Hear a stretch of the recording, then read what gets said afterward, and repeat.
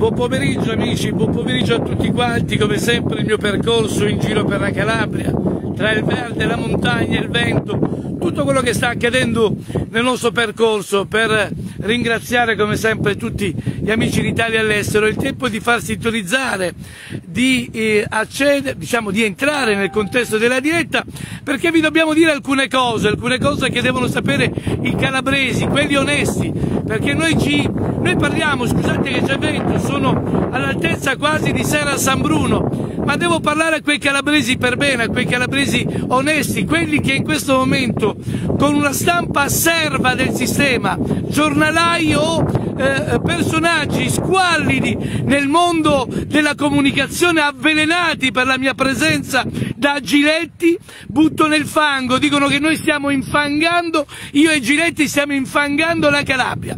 Nel fango la Calabria ce l'hanno messa i politici, i giornalisti corrotti, giornalisti che in questo momento si stanno occupando anche del nostro modo di fare televisione, quei giornalisti che hanno sistemato generi, figlie e che si sono sistemati anche loro nel mondo della politica, vigliacchi e disgraziati, infami che non siete altro. Noi infanghiamo la Calabria, infanghiamo la Calabria, noi la stiamo raccontando, ve la siete derubata, ve la siete mangiata, ve la siete... avete rosicato anche l'osso. Domenica sera, quando eravamo davanti all'ASP di Cosenza, se non fosse per quelle associazioni che io avevo invitato, nessuno, nessuno è venuto spontaneamente davanti all'ASP di Cosenza, nessun cosentino è venuto. E di che cosa vi lamentate? Che poi si candida Pino Gentile con 35 anni di politica e che i Gentile e i suoi compagni di Merenda hanno massacrato la sanità calabrese. Perché non siete venuti? Avete avuto, non avete avuto gli attributi, non avete avuto il coraggio e poi dite che noi stiamo smerdando la Calabria, noi stiamo raccontando la Calabria, vergognatevi, perché a Cosenza mi sarà aspettato un mare di gente, nessuno è venuto spontaneamente, quella gente che avete visto collegata domenica scorsa davanti all'ASP di Cosenza era invitata, era stata invitata da Lino Polimeni. Se non fosse per me, nessuno era presente lì davanti all'ARP, perché ve la cacate, perché vi conviene mantenere il sistema, vi conviene tenere l'aggancio. E poi il buco di Reggio Calabria. Qualcuno si meraviglia che raccontate quello che c'è di buono. Ma che cosa dobbiamo raccontare quello che c'è di buono? Là che dobbiamo scappare dalla Calabria, i nostri figli devono scappare dalla Calabria, vigliacchi, che non siete altro, vigliacchi infami, codardi, siete codardi, perché non avete coraggio, volete rimanere attaccati al sistema. Non è vero che volete cambiarlo, perché se volevate cambiarlo, amici di Cosenza, domenica sera alle 20.30 ci devono essere 5-10 mila presenze, non inventatevi l'assembramento perché c'era spazio per tutti. Nessun cittadino di Cosenza è arrivato lì spontaneamente. E come volete cambiare la Calabria? C'è solo un'alternativa in questa terra. Solo un'alternativa c'è in questa terra.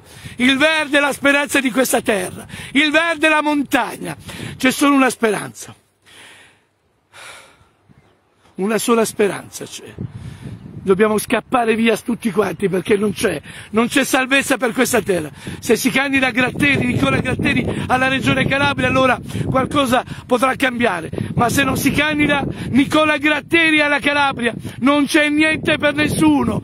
Non, questa terra è persa, non c'è speranza, vigliacchi, ve la siete mangiati non c'è speranza, non c'è speranza, solo un uomo può salvare questa terra, un uomo solo, si chiama Nicola Gratteri, che invita voi calabresi di far diventare virale questo video, di eh, convincere insieme ai messaggi da scrivere a Nicola Gratteri, lui solo può essere la salvezza per questa terra. E non dimenticate quello che hanno fatto lunedì sera a Rete 4, vigliacchi, infami, infame, eh, come si chiama?